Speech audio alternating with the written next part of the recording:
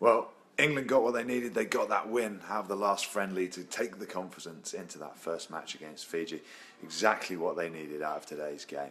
Some good performances. I didn't get to watch the match, but listening to Ian Robertson's dulcet tones on the radio, um, it sounded like there were some good shifts put in. Sam Burgess in a big hit late on.